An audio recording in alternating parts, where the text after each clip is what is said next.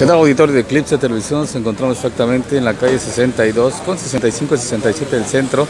Bueno, aquí se encuentra bloqueada la entrada a lo que es las oficinas de la Plaza Comunitaria General Salvador Alvarado. Esto es eh, el programa especial de certificación para educación de los adultos. Bueno, aquí se quejan de esa manifestación, bueno, exigen respeto, exigen de que no se les esté despidiendo, de que no ha habido la sensibilidad por parte del gobierno del Estado para pues poder, eh, para poder eh, atenderlos y atender sus necesidades, sus preocupaciones.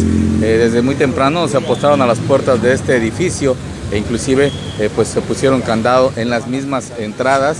Como podemos ver, aquí se van a mantener, según dio información el dirigente del sindicato. Hasta el momento hay un despido, pero son cinco los que están en la mira de este, pues de esta, para el despido de esta, de esta institución.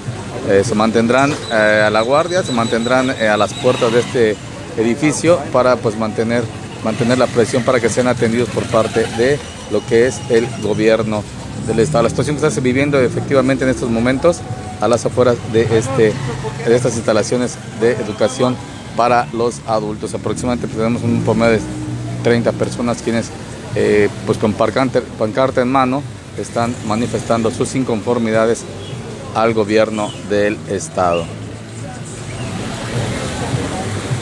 Con información Daniel Martínez para Eclipse Televisión.